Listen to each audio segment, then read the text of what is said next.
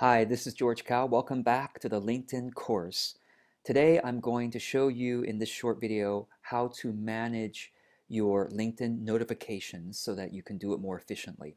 So once you log into your LinkedIn account, you should, uh, if you're on the home screen, you should see your name and profile photo here.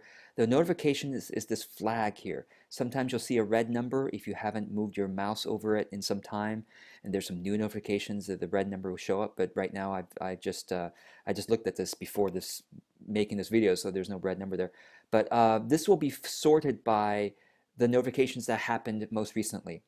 So here, uh, what does this mean? This person just joined LinkedIn as a connection you can ignore things like this. This is basically when you import uh, some of your contacts into LinkedIn, but you don't add them yet because there's two steps when you import email addresses into LinkedIn. Uh, you import them and then you can add them. Uh, in this case, I, I, imported Arthur and didn't add him. Uh, so if I wanted to add him, I would click on this and then I would be able to connect. Uh, this, this second one, it says eight people viewed your profile. Um, if you are really active on LinkedIn, you might actually want to see who viewed your profile and, and if it's like a prospective client or a prospective business partner, you can go and contact them. And so for example, I might click here and when I click here, I, I'm on the section that says who's viewed your profile and basically um, if I scroll down, this first section I would ignore. It's basically what LinkedIn suggests that I do, but some of this stuff is really, I, I don't think it's honestly, I don't think it's that, that helpful. Um, so I would scroll down, and this is actually, the, these are the people who viewed my profile. Now, because I have a free LinkedIn account, I can only view, um, let's see, one, two, three, four people who viewed my profile. Uh, I think five actually. This person happens to be anonymous, but uh, but that's okay. I mean, I, you know, don't. I, I would say, unless you are a recruiter or an HR person, um, or you use LinkedIn, every single day and you get tons of business from it. I mean, it's it's probably not worth upgrading. Sorry, LinkedIn, uh, but I'm still using it for free. I do love LinkedIn, but anyway, you can get up to four people who viewed your profile. I think that's probably enough. If you check back on LinkedIn often enough, you'll be this will be uh, fine for you.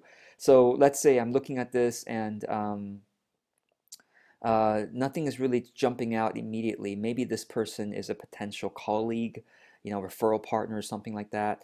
Um, but when I hover over these people, notice that uh, I, move my mouse over here, nothing happens. I move my mouse over here, seven. So see, so so that's that makes it more interesting to say, well, this is a, a potential colleague, you know, referral partner or so, something. Uh, this is basically the seven connections that I have that she also has at the same time. So right, we, we both share seven first degree connections and you can see who these people are here. So if I wanted to connect with her, I can click that uh, or I can go to her profile first and you know uh, choose to connect from here after reading some of this stuff and, and maybe sending a more uh, thoughtful connection message, something like that. Um, okay, so anyway, let's go on to other things here. Um, uh, TM commented on my update. That's great. Thank you, TM. Likes my update. Uh, published a new post. Okay, so here's okay. Here's the thing I really want to sh show you that I think will be really efficient. You might be getting a lot of notifications about how your connections have published a new post, and maybe most of the posts that your connections publish are not relevant for you. You know, because you're not in the same industry, right? So, for example, this one, um, you know, I don't really work with CEOs per se. I work with small business owners, but that's not the same as CEOs of like software companies or medium, larger companies. So I, I would want to unsubscribe probably from this person's um, update. So I would click X here, okay, and it says, do I want to unsubscribe from his article updates? And I click unsubscribe. So that way, in the, as I keep doing this, unsubscribing from, okay, three people are following me now. That's wonderful. If I click on this, um, It'll show me who my followers are. Interestingly, I can see what, what seniority level they have in their business, industries that they have. Um, you know, most of my followers, I guess, are, are coaches because those are my ideal client audience. Uh, these are my new followers. I can go and, and check them out or connect with them, etc., etc.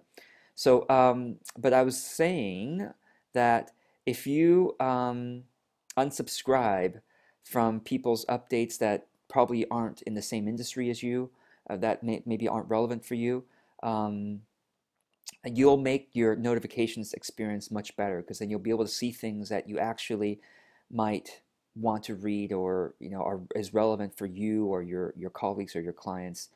Um, you know this person's probably in a similar industry that I'm in. Uh, so let's go to let me show you some more here. This person endorsed me. That's very nice. If I had some more time, I might go and uh, endorse that person. Um, so uh, let's see, I, I want to unsubscribe from this person. This updates. Okay, so basically that's that's all. I mean, you, you basically want to come into your uh, notifications on a regular basis. People are interacting with you, endorsing you, uh, liking your stuff. You might want to, you know, viewing your profile. So you might want to go and as an active networker, as someone who is building up your connections, you might want to go and thank them or like something they wrote, comment on something they wrote, that kind of thing. Okay, so um, I hope that's helpful, and I'm always open to your questions and your comments. Be well.